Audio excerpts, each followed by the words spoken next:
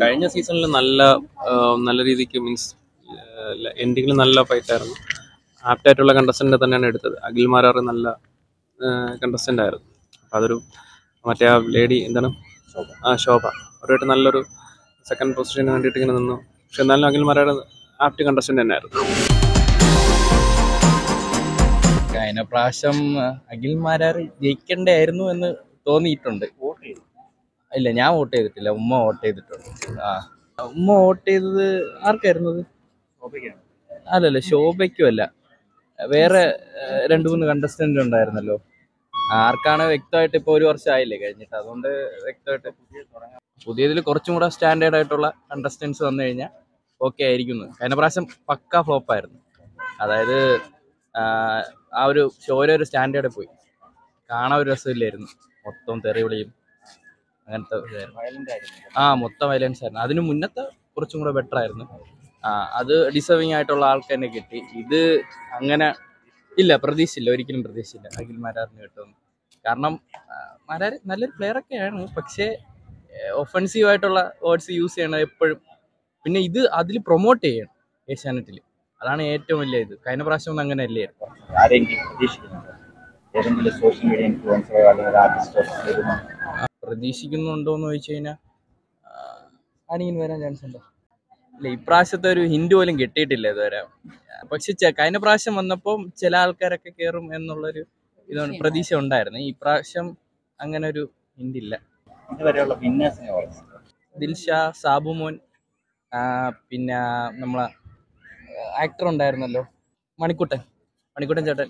നമ്മൾ കാണുന്ന എപ്പിസോഡുകളിലൊക്കെ നമ്മൾ പ്രതീക്ഷിക്കുന്ന സാധനങ്ങൾ കിട്ടുന്നുണ്ട്. ആ എന്റർടൈൻമെന്റ് കിട്ടുന്നുണ്ട്. കഴിഞ്ഞ പ്രാവശ്യം വലിയ എന്റർടൈൻമെന്റ് ഇല്ലായിരുന്നു കഴിഞ്ഞ പ്രാവശ്യം കാണാൻ ഒരു ലൈക്ക് അടി കാണാൻ വേണ്ടി അതെ അതെ അടി കാണാൻ വേണ്ടിയുള്ള ആൾക്കാർ ഓഡിയൻസ് ഇരുന്ന് കാണും.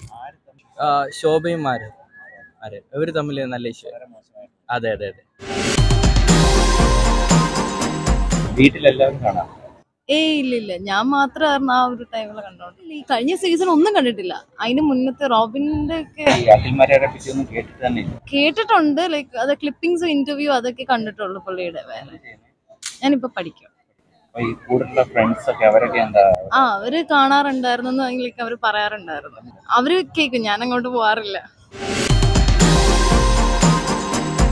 കഴിഞ്ഞ സീസണിൽ നിന്ന് വ്യത്യസ്തമായിട്ട് എന്തെങ്കിലും പുതിയതിനകത്ത് വരണമെന്നില്ല പുതിയതിൽ ഇല്ല എല്ലാ വർഷവും ഒരുവിധം മറ്റേ കണ്ടിന്യൂസ് ആയിട്ട് ഒരേ ഇതാണല്ലോ. തീം എന്ന് പറയുന്നത് സെയിം ആണല്ലോ. പിന്നെ അതിൽ തീമിലൊന്നും വേറെ മാറ്റം വരുത്താനില്ല.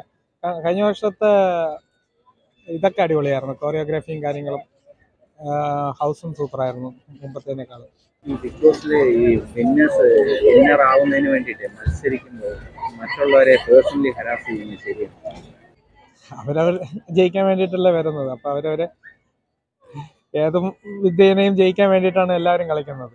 ഇറിറ്റേറ്റിങ് ഞാൻ അങ്ങനെ ത്രൂ ഔട്ട് കാണാറില്ല കാണുന്ന ദിവസങ്ങളിൽ ഞാൻ മിക്കതും ഹോട്ട്സ്റ്റാർ വഴി ഇടയ്ക്ക് ഇതെടുത്താ കാണുന്നത്. മെയിനായിട്ടുള്ളത് മാത്രമേ കാണൂ.